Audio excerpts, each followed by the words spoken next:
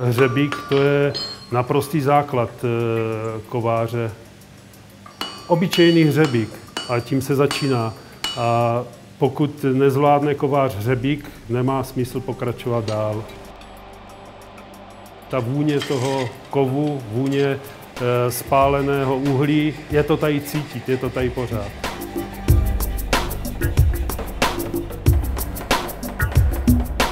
Motýl eh, to je kus eh, přírody z našeho okolí.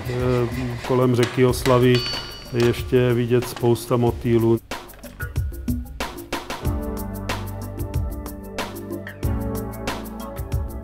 Výrobky moje by měly nést eh, nějaký můj pohled na svět. Zde třeba u toho kříže eh, jsem použil kámen, červený karneol a taková spíš strohá, jednoduchá kovařina.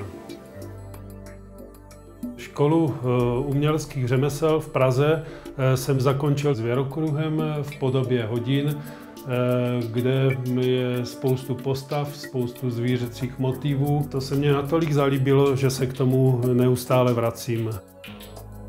Když dělám interiérové věci, tak eh, mě hodně jde o povrchovou úpravu. Když dělám venkovní věci, tak mě zase u toho baví to sprosté železo eh, s naprosto přírodním kamenem.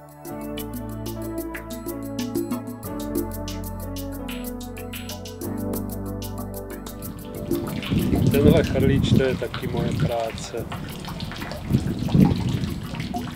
Tady jsme v těsném sousedství náměstského zámku. Tento dům je takové rodinné zázemí. Tak, jak jsme si ho my s manželkou velice oblíbili, tak si ho oblíbili i děti. A teď už samozřejmě i vnuci. Prostory v přízemí jsme využili pro galerii. Stará se o to moje manželka, která pořádá autorské výstavy.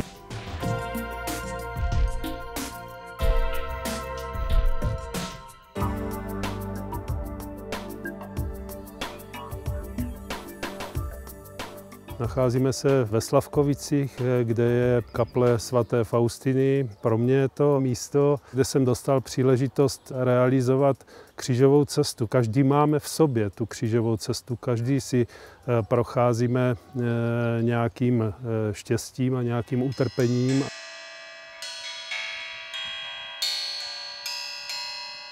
Kdyby byla šance znovu začít, určitě bych rád se věnoval kovářskému řemeslu, protože jsem se v něm objevil.